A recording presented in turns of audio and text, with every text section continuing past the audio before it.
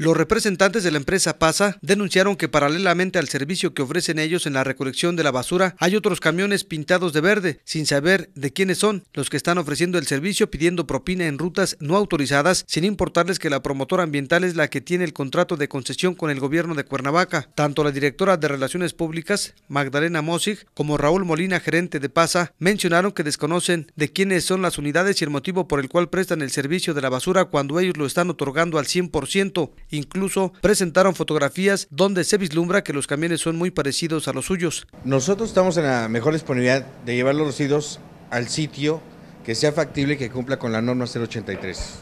¿Cuál sitio? Pues es lo que estaremos evaluando y momento dado estamos abiertos a si el municipio nos indica este, de, de algún sitio que nos pueda proponer. En ese sentido, anunciaron que las unidades no rotuladas recorren calles y avenidas en colonias como Cantarranas, Potrero Verde, Satélite, Loma Bonita, Lázaro Cárdenas, Vistahermosa, entre otras, incurriendo en violaciones al contrato firmado durante la pasada administración municipal gobernada por el partido Acción Nacional. Con imágenes de Marcos García, Gerardo Suárez, Ultra Noticias.